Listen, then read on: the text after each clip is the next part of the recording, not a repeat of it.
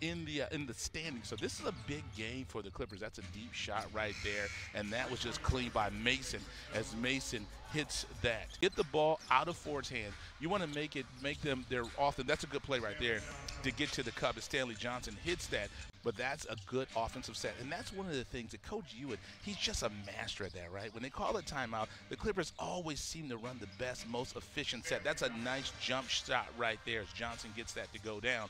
Good. Uh, play by the Clippers to cut off the ball. You've got to like that, but good ball rotation as well for the Kings. And you can see they get the ball right where they want it to be, and that's a nice shot right there at Johnson.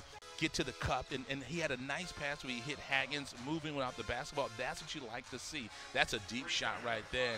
30, 37.5% will get it done. So you want to make sure you make it difficult. Six seconds on the shot clock. That's what you want to have. As Slawson gets up, couldn't get that one to go down.